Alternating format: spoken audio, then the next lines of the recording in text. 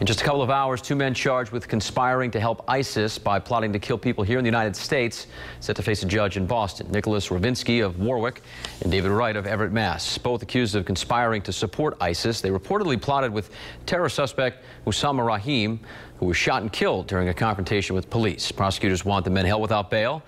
We have a crew in Boston today. We'll bring you what happens in court tonight on Eyewitness News starting live at 5.